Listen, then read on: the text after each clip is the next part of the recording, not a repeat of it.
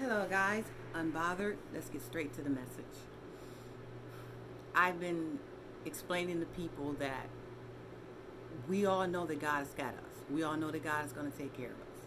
But God also said not to test him. Did he not? Did he not say not to test him? So, we don't want to test God. When you get warnings, then we should prepare, okay, and not worry because we have God. But he never said not to prepare. He told us to stay alert.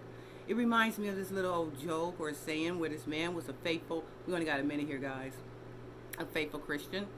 And the water was flooding and he got to his stairs. Some people came and said, come on, we're getting on out of here. He says, nope, I'm waiting on God.